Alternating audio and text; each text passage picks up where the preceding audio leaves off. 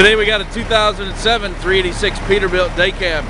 Caterpillar C15 475 horsepower engine 294,000 miles 13 speed transmission 390 gears 12 and 40s Air Trac suspension. Let's take a walk around and look at it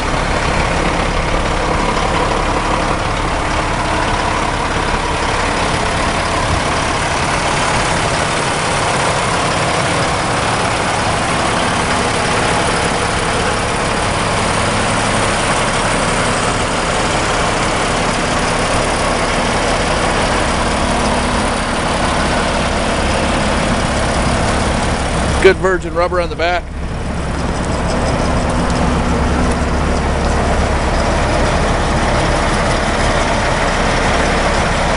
Two line wet kit.